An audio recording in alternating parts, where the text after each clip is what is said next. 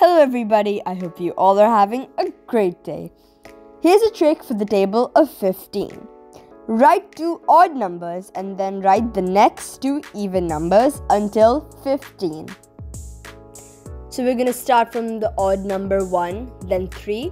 Now our even numbers 4 and 6. Now here we are with the odd numbers once again 7 and 9. Right after that, even numbers 10 and 12.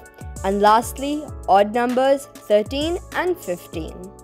Now we're gonna start from the top and write 5 and 0 alternatively.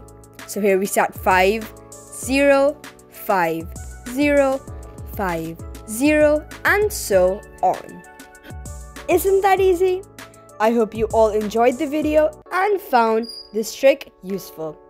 Don't forget to like, share and follow. Stay tuned for the next video.